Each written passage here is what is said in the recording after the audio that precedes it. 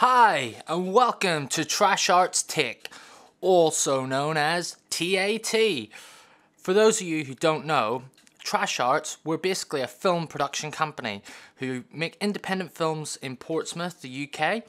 Um, and we've been around for about 12 years. We also run events such as gigs, film festivals, and our very own open mic night called Open Your Mouth which has actually been highly successful.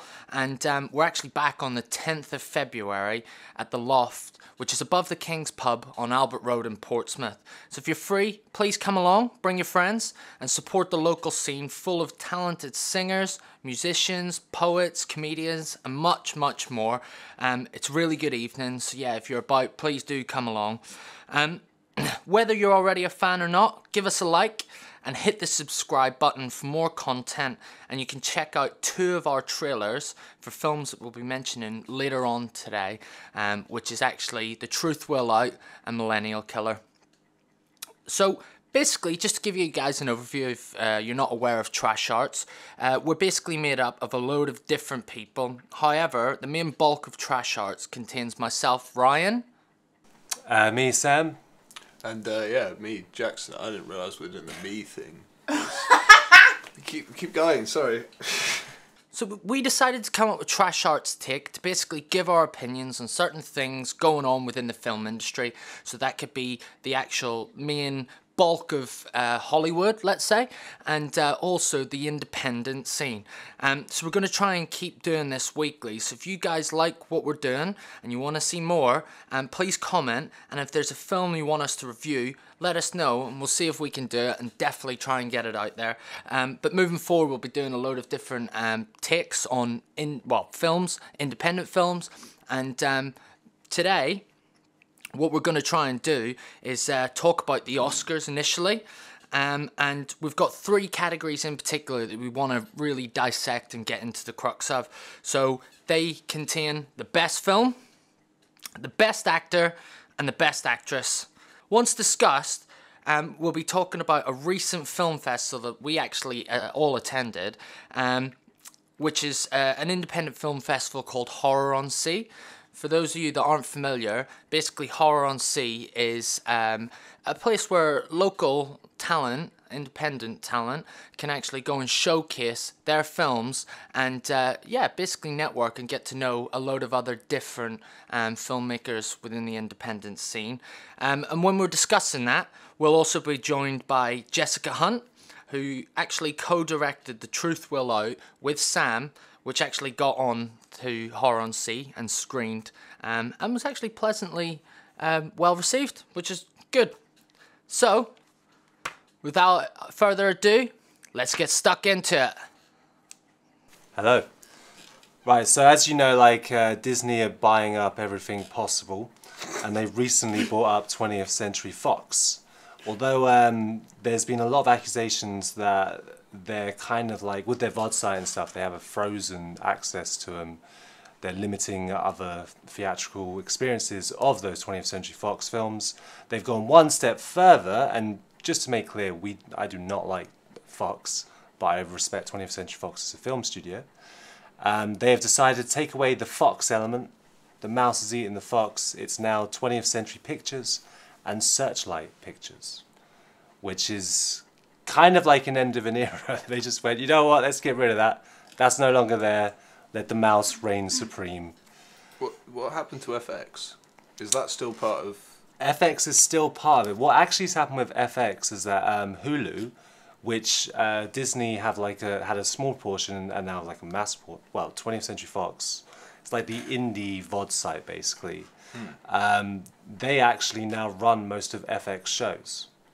So they're kind of still Disney, but they've put them more to their India side of things. See how that works out. Kind of reminds me of the 90s when um, Disney tried to buy, well, they did buy Miramax films. And uh, yeah, there were a few problems there. So looking at other stuff happening, um, Netflix are currently trying to own everything, and good on them. They've uh, they're looking to do a commitment of 17 billion so Netflix have decided they're going to produce um, Bradley Cooper's next directing film that he'll obviously star in. Uh, and it's about Leonard Bernstein, the composer. and about more to do with like fractions of different points in his life and the relationship with his partner.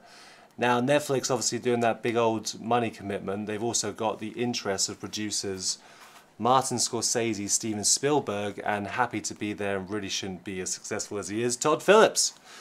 Um, with Spielberg, it's interesting because Spielberg has been very vocal that he thinks that streaming films cannot win Oscars. Now, obviously, this sounds like Oscar bait for the future, so it'd be interesting to see how that works out. Mm. On the and also there was the PGA, which is the Producers Guild Awards, and 1917 won that film. Now, statistically, that usually means it's on its way to the Oscars, but then something crazy happened at the Screen Actors Guild, and they gave it Parasite, which is the first film that's ever happened to a film with an, an international background, which is kind of crazy, and um, yeah, it makes it a bit more exciting. Yeah, I think that leads quite nicely into our first topic, which is, of course, best film. And um, for this section, I think what we're going to do is just focus on the, the major front runners here. So obviously, Once Upon a Time, which came out, I think, summer last year. Um, personally, I thought that was absolutely fantastic. Really enjoyed it. Um, we got 18, seven, or sorry, 1917. Make sure I get that right. There's Parasite. And um, yeah, which again, like I said, just won the SAG Awards. And then, like, I think it's because it's that because the way they do the ballot system, I would also include Jojo Rabbit in that collection. So, guys, open forum. Who do you think's gonna win it? Um, it's a tricky one. Like, we we've all had the opportunity to see the films, and like the front runner on the technical level and the more safer bet is 1917. I you see, I, I, I went to see 1917 uh, in the cinema, and it was. Uh, it was really good. It was like the the technicality. Technically, it was stunning. The composition of the shots was incredible. The special effects were uh, amazing. Um, the the just the detail that went into the set design and, and everything like that. It was just uh, absolutely stunning. You really believed that you were there, and obviously with the one shot feel to it, it really it really sort of made you made you experience uh, what it was like to be on that yeah to be in, in, in, the no man's land during the First World War. Um, but like I, I find it a bit like I don't know uncomfortable because like the First World War was obviously everyone knows now that it was sort of a pointless war that no one really that wasn't really a good guy there wasn't a bad guy it was just sort of nation states going to war for no real reason because a because a treaty broke down. Um, and despite that, it seemed like the Germans within it were sort of like they were quite demonized. Like the the only real sort of interaction that they had with a German soldier, you know, they, who was saved from out of a, a spoiler alert by the way. We should have probably said that at the, the start. the, english you know if you're listening you're listening you know it's tough.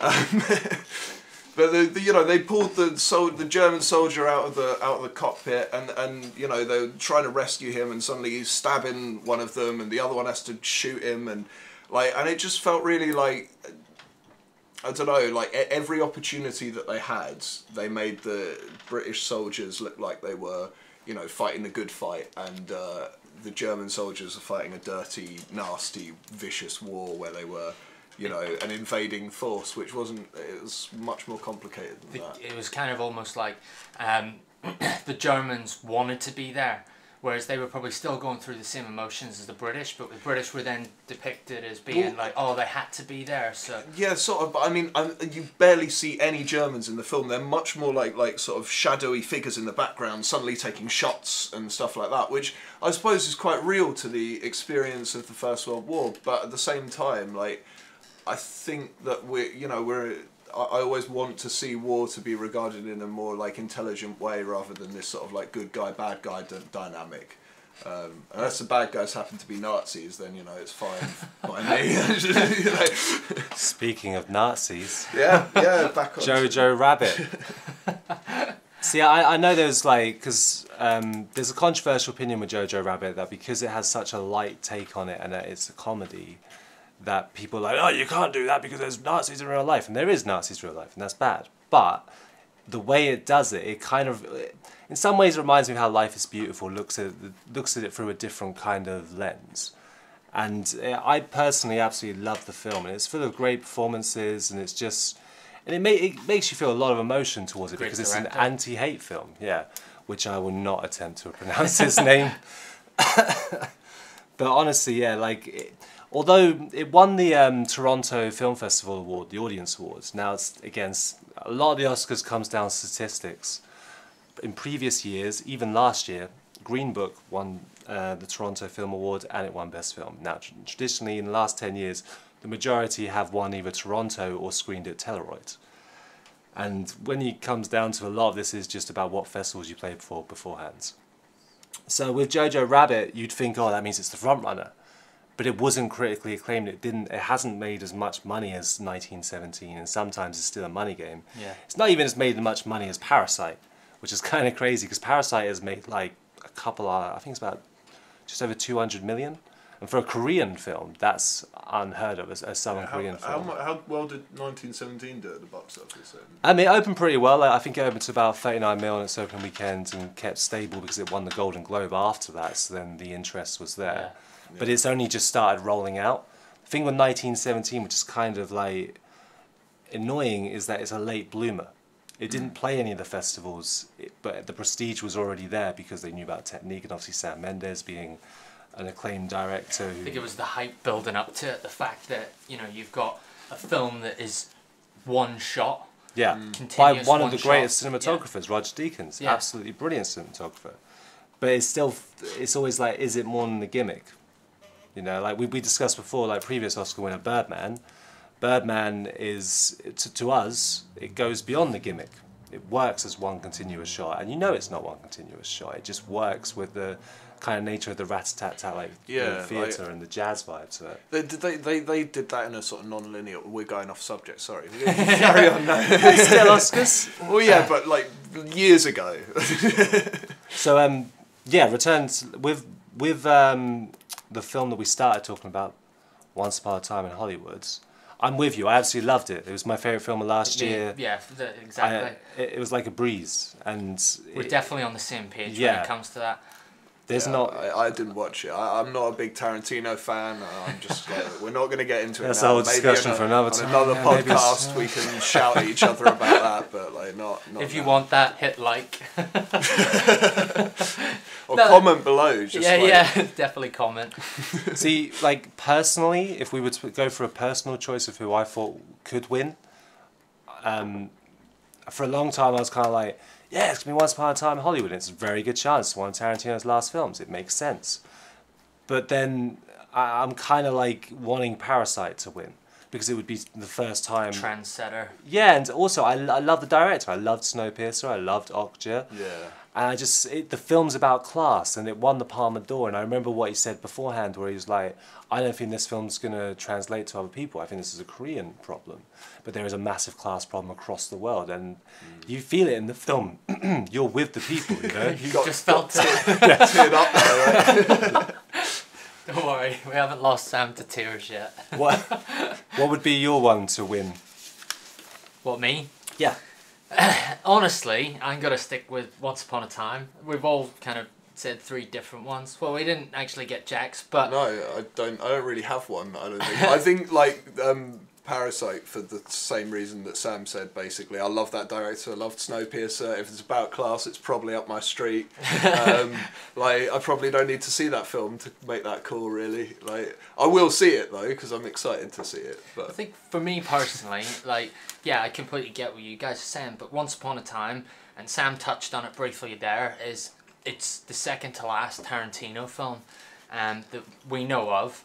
Um, well, he's confirmed that he's not going to be doing film. I think TV was talked about for a while. Well, he's um, going to do, rumour. yeah, he's got a bunch of stuff. Um, but for me, I just love the the cinematography. I love the way that Tarantino can take a period piece in time or like a, a, a piece of history and flip it on its head and completely change the subject, subjective view of um, that kind of whole process that people went through at that time. It's surprisingly as well because the fact of what Manson did is he changed how Hollywood felt. It Yeah. did not feel free. It did not feel liberated. They stopped, as they always said, they stopped. Uh, they used to always keep the door unlocked. All of a sudden, they had to lock the door. Yeah, but they always say that. That's- They, they no, but it's I that it's know, that that- idea. They say always- it's when Hollywood's innocent died, and the fact that Tarantino gives it a very positive vibe at the end by twisting the whole entire notion of it.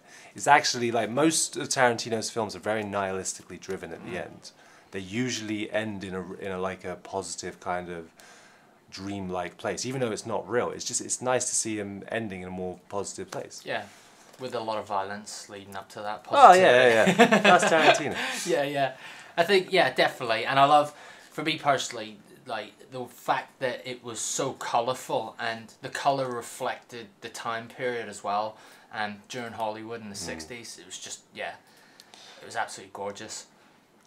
Right, should we uh, move on to best actor then? Yoss. So, like, with Best Actor, obviously there are five nominations, but there's no point talking about all of them because it's really between two people. And it's the, the Billion Dollar Club Joaquin Phoenix for Joker, or it's Adam Driver for Marriage Story, which um, you and I have seen both those films. Um, with, uh, yeah, like, it's a difficult one because I'm on the fence on this one, really. I, I personally feel performance wise, Adam Driver. It's a much better performance. It's a it's a better character, and it's you know it's like he's gonna probably get more nominations in the future. And it feels like Joaquin Phoenix they missed out on the fact that he was obviously nominated for The Master, hmm. and he was nominated for Walk the Line, and I can never remember the third nomination. I think it's Gladiator, but I'm not sure. But those films are far better. And the Joker is more like a, a film where an actor got to do whatever the hell they wanted with a director who didn't know what to do with the actor and that, thus got something out of it. Uh, and it is a brilliant performance, can't deny it. But he's done better. Like, it's, yeah. the one thing with the Joker is that like it's it's a very sensitive subject, isn't it? And if you think about it, I'll probably go slightly off topic here, but if you think about in the last number of years how um, mental health has become a lot more aware, so to showcase a film in that sort of way um, was cool. But at the same time, what it ended up doing was losing a little bit of context in terms of the actual story. It was still a Batman film. They Yeah, still had to keep bloody mentioning Batman. But what I meant, yeah, I know you didn't like that. What I mean is, um, you know, the city's on breaking point, but you never really see the city going. It's like an Instagram filter by fucking Scorsese, that a taxi driver kind of look. You know, it doesn't feel authentic one bit, and that's my biggest problem with that film.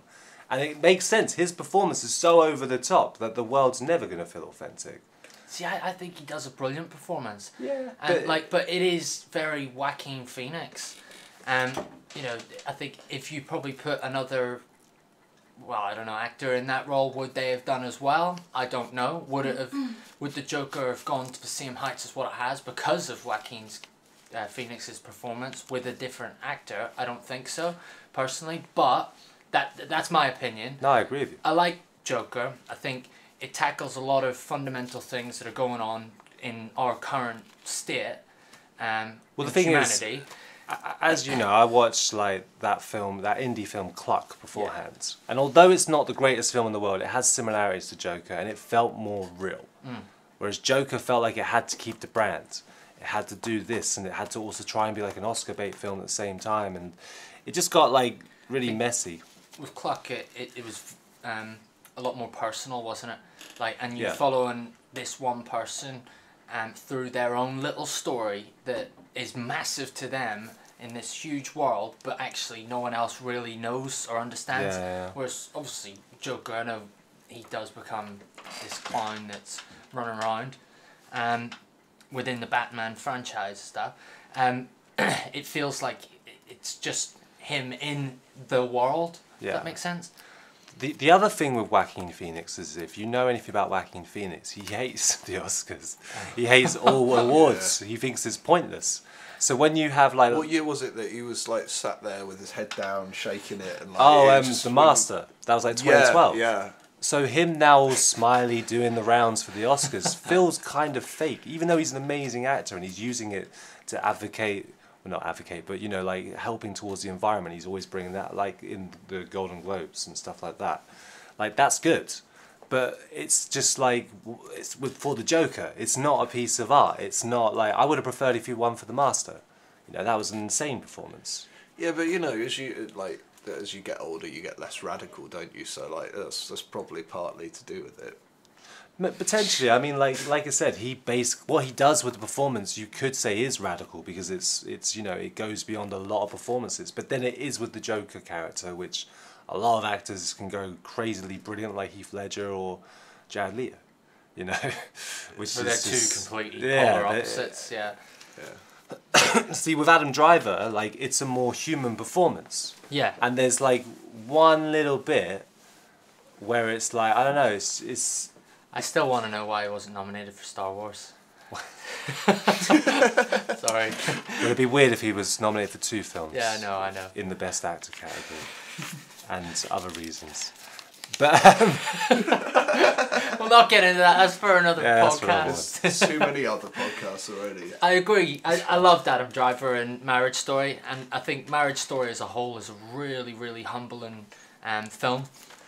And just to see these two people that like still have an emotional connection with each other through their son, um, yeah, and go through this like really traumatic experience. Adam Driver's performance in it, like there's just that whole one scene, um, with him and Scarlett Johansson, was just absolutely took my Yeah. breath away. I, I cried my eyes out, and, I, and the thing is, it's one of those films where people keep going, well, if you you know, if emotionally you you you'll probably connect with it, and you watch and you're like, well, how this feels like it's their life, and then you see this really human moment that happens, and you're just like, oh, that's you know, It really grinds you. yeah.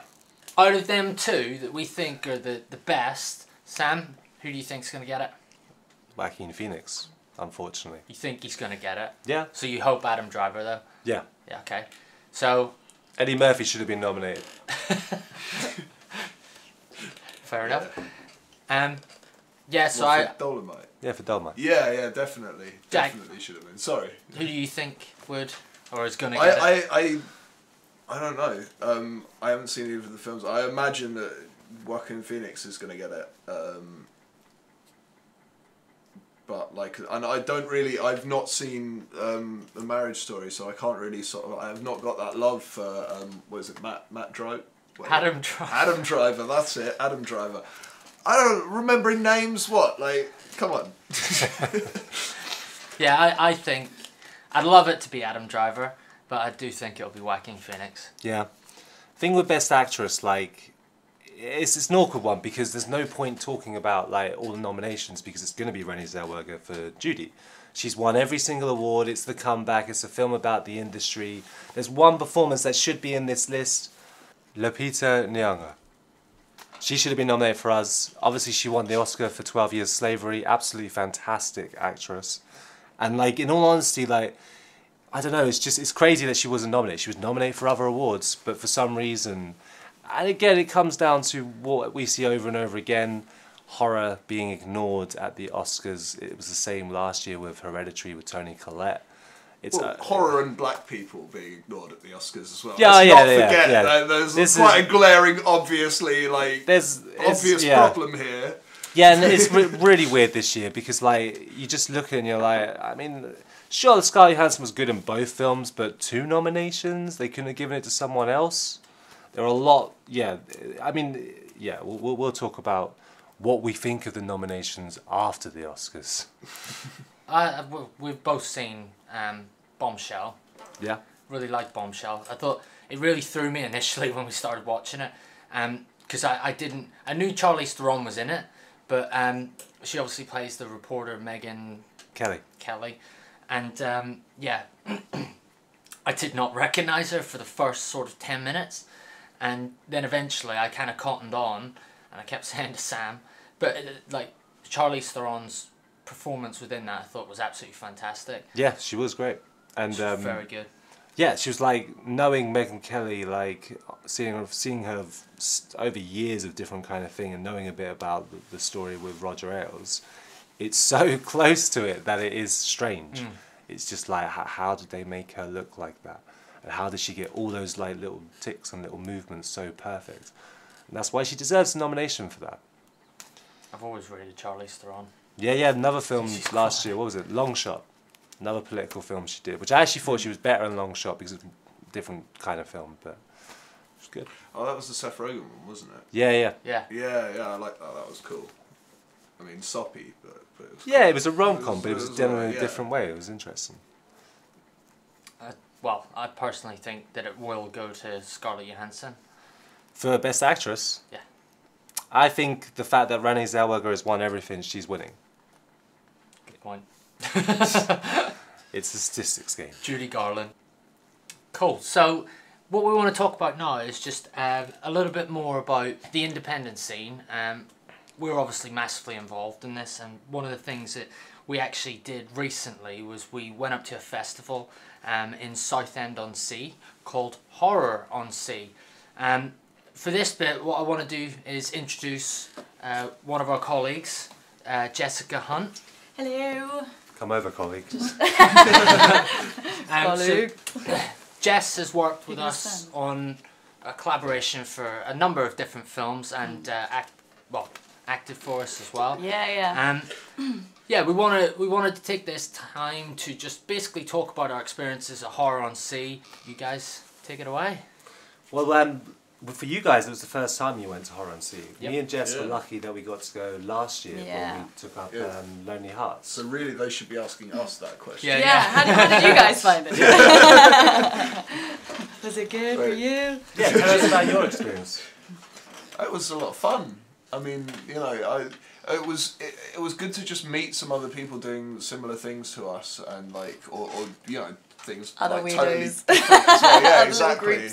Um, uh, and you know, it was inspiring to sort of see other people like uh, you know other people doing Mm. the same thing, m- working hard and, and making things sort of uh, unique and, and creative and, and I think one of the things that stands out for me is that whenever you're a filmmaker within the indie scene, is sometimes you can get so caught up in the thought that oh you're the only one doing it, and for sure. Yeah. and like you guys have obviously no, Jess and Sam have worked together. You've just on- taken what I was going to say. Oh, Pretty much. sorry. Yeah, no, no. That's why I'm like, yeah, absolutely. Take it away. You're just to- saying it better than I. Was. To go on to well to go to that event and to see so many different filmmakers who um, basically have kind of came up with their own concepts and gone out there done it on low budgets and then they've managed to be accepted to the, this sort of event and uh, yeah it was just fantastic i really enjoyed it Mm. I think it's great as well, like because you see them doing like o- other filmmakers and uh, from other films doing their their own merchandising, their own sort of Yeah. posters, their own, and it makes you realize like you can be bold with these things. You can sort of go there with like you know all these posters, and people will take them, and you'll end up signing them, and it's really really odd to you know. Like go back to your job at like I won't say where, but like Yeah, yeah, yeah, I know what you After- to be fair, like that's one of the main takeaways because there was such a transition from our experience from the first year to this year, where obviously where we worked, like you said, Mm. took posters and and I think because last year when we went, it was the first time I I knew of like Myco, for example, and Yeah. they've they merch themselves like so well and like market themselves in general really well. And it, it was the first time I kind of figured, I was like, oh yeah, I- I forget you can kind of go there with this stuff. You kind of forget, you know. The thing is, as well, because it's like it's not competitive.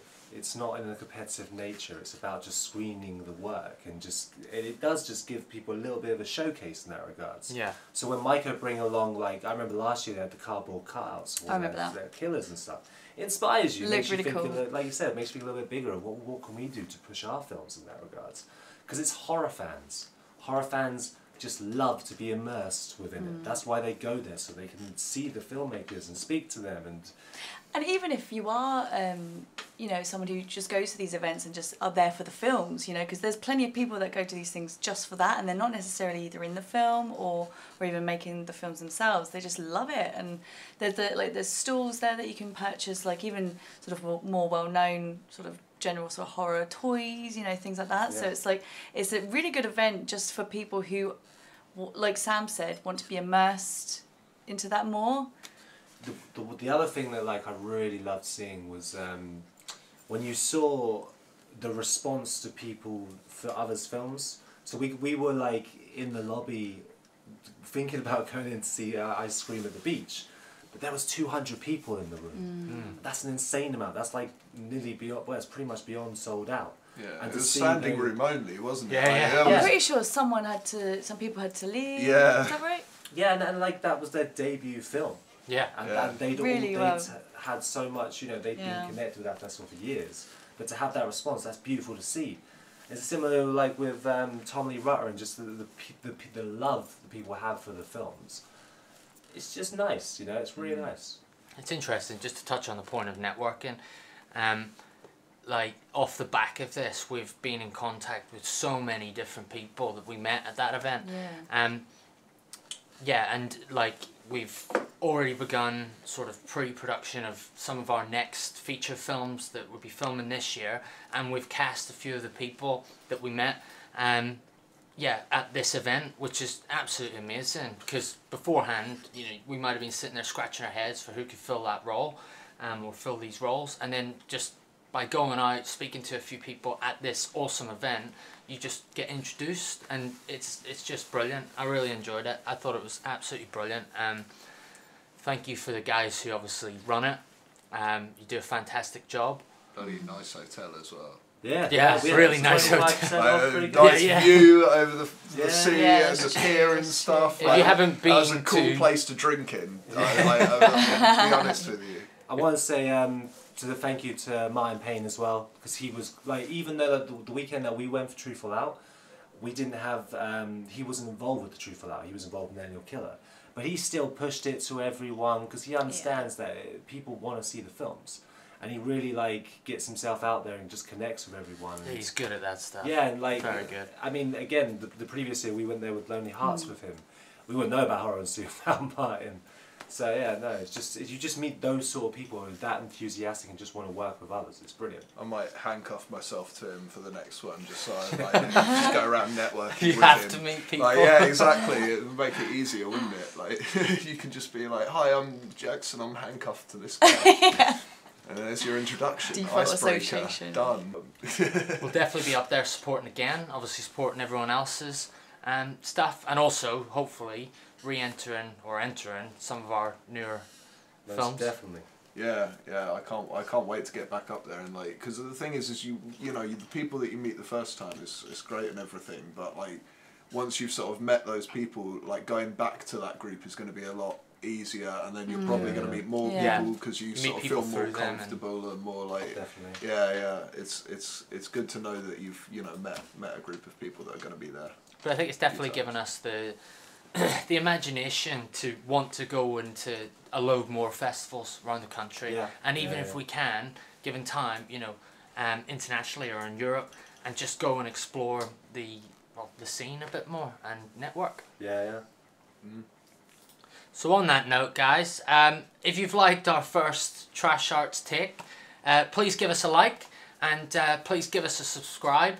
Uh, if you do subscribe, we've got loads of other content, loads of other um, films, trailers, etc., web series within our Trash Arts Portsmouth page. Just to let you guys know as well, you can check out the trailers for the two, well, two of our films that were actually on at Horror on Sea. That's The Truth Will Out and Millennial Killer.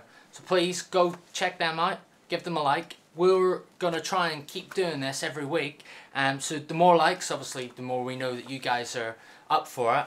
And uh, other than that, TAT out. Bye. Bye. Is that your sign out? I'm, I don't know. I, don't I just know. love there's a peace sign. I'm like, it's an audio record.